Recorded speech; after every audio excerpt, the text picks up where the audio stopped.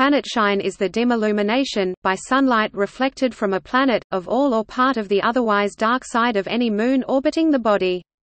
Planet light is the diffuse reflection of sunlight from a planet, whose albedo can be measured.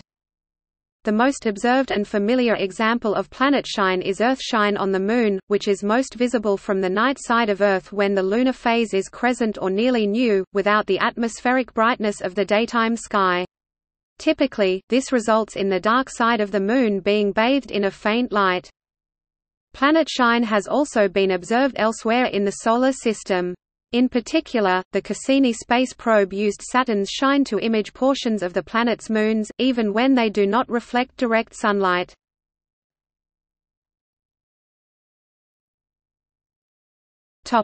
Earthshine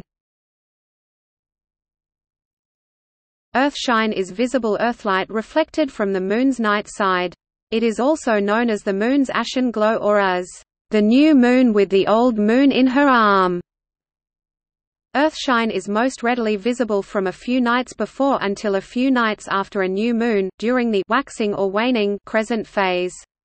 When the lunar phase is new as viewed from Earth, Earth would appear nearly fully sunlit from the Moon. Sunlight is reflected from Earth to the night side of the Moon.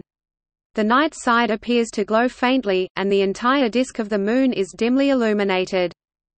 Leonardo da Vinci explained the phenomenon in the early 16th century when he realized that both Earth and the Moon reflect sunlight at the same time. Light is reflected from Earth to the Moon and back to Earth as Earthshine. Earthshine is used to help determine the current albedo of Earth.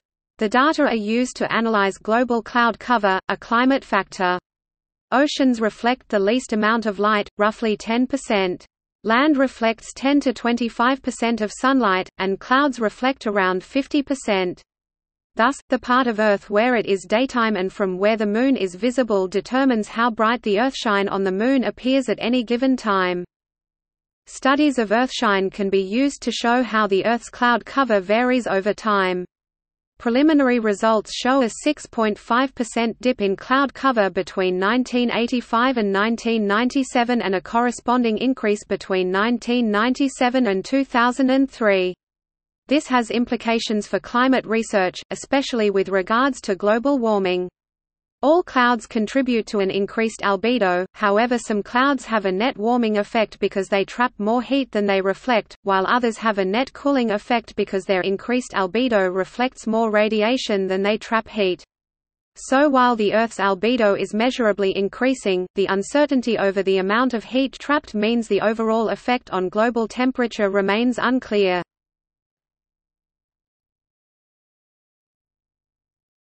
Topic: Retroreflection Features on Earth, the Moon, and some other bodies have, to some extent, retroreflective properties. Light striking them is backscattered, or diffusely reflected preferentially back in the direction from which it has come rather than in other directions. If the light comes from the Sun, it is reflected preferentially back toward the Sun and in nearby directions. For example, when its phase is full, the Moon reflects light preferentially toward the Sun and also Earth, which is in almost the same direction. As viewed from Earth, the full Moon therefore appears brighter than it would if it scattered light uniformly in all directions. Similarly, near new Moon, sunlight that has been backscattered from Earth toward the Sun and also the Moon, which is in almost the same direction, and then backscattered again from the Moon toward Earth appears much brighter, as viewed from Earth, than it would without the retroreflective effects. The retroreflection is produced by spheres of transparent material on the reflecting surface. When it encounters a transparent sphere, light is preferentially reflected and refracted in a path, within the sphere, which exits it in the direction from which it entered. On Earth, the spheres are droplets of water in clouds. On the Moon, large numbers of solid glassy spheres are found on the surface. They are thought to have been formed from drops of molten ejecta, produced by impact events, which cooled and solidified before falling back to the surface.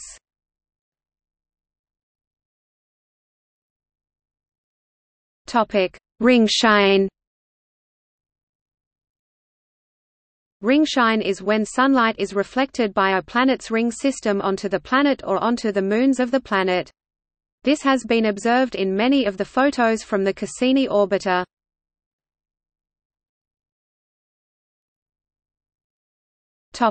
Search for terrestrial planets. Scientists at NASA's Navigator program, which specializes in the detection of terrestrial planets, have backed the launch of a Terrestrial Planet Finder (TPF) mission. TPF would detect light reflected by planets orbiting stars to investigate whether they could harbor life. It would use advanced telescope technologies to look for life marks in the light reflected from the planets, including water, oxygen and methane.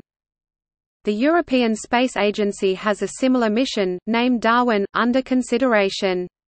This will also study the light from planets to detect the signatures of life. Unlike many traditional astronomical challenges, the most serious challenge for these missions is not gathering enough photons from the faint planet, but rather detecting a faint planet that is extremely close to a very bright star. For a terrestrial planet, the contrast ratio of planet to its host stars is approximately approximately 10-6 to 10-7 in the thermal infrared or approximately 10-9 to 10-10 in the optical, near-infrared. For this reason, Darwin and Terrestrial Planet Finder I will work in the thermal infrared.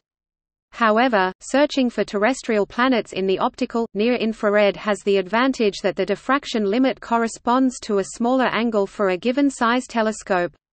Therefore, NASA is also pursuing a terrestrial planet finder C mission that will search for and study terrestrial planets using the optical and near-infrared wavelengths. While terrestrial planet Finder C aims to study the light of extrasolar planets, Darwin and terrestrial planet Finder I will search for thermal infrared light that is re-radiated rather than scattered by the planet. In preparation for these missions, astronomers have performed detailed earthshine observations, since earthshine has the spectroscopic characteristics of light reflected by the Earth. Astronomers have paid particular attention to whether earthshine measurement can detect the red edge, a spectral feature that is due to plants. The detection of a similar spectral feature in light from an extrasolar planet would be particularly interesting, since it might be due to a light-harvesting organism.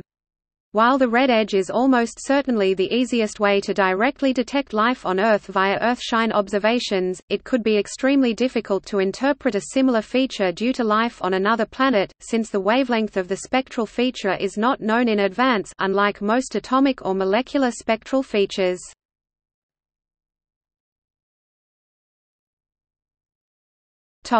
Moon in Earthshine